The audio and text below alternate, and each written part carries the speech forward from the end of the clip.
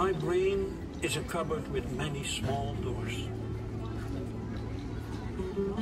Behind some doors is something beautiful.